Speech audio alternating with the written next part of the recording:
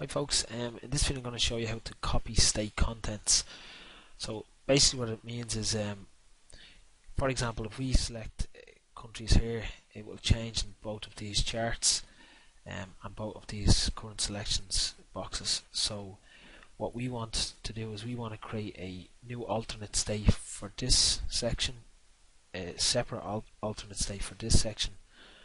But then what we want to do is if we make selections, won't affect these, but what we want to do is when we make selections in these list boxes here, which is month, year, year, month, country, and city, we then want to copy those selections and have them applied on um, for each different alternate state. So, for example, at the moment, when we make a selection, we can then select cities, and the list box selections will apply to both.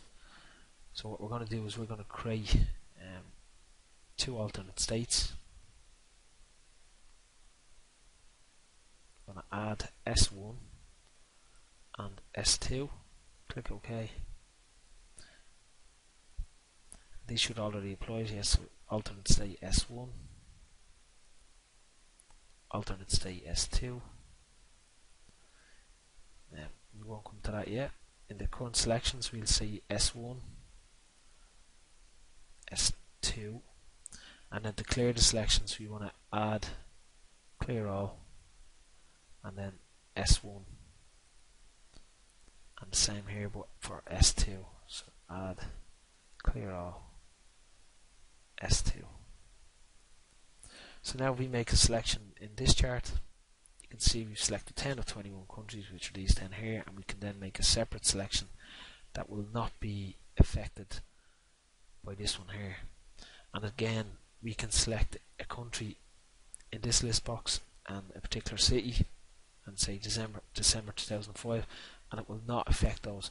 But what if we do want uh, the selections we make in our list boxes to affect each alternate state? What we can do is we can go into the copy state contents.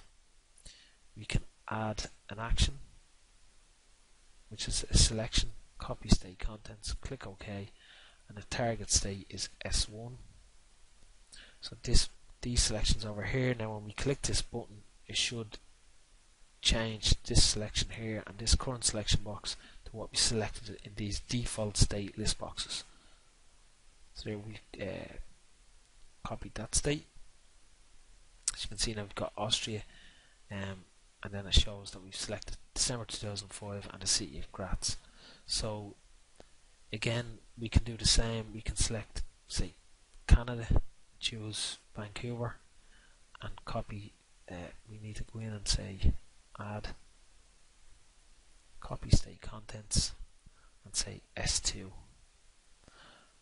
now if we click this button the selection 2 and the current selections 2 will, will apply to Canada, Vancouver and December 2005 that's pretty much it.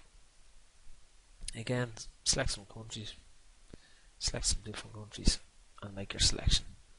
This will then clear that particular selection. You can create, uh, choose different countries, select those countries, CE, and again you can you can keep doing that. So that's pretty much uh, pretty much it. I hope that helps on how to use uh, copy state contents in QlikView I'll see you next video. Cheers.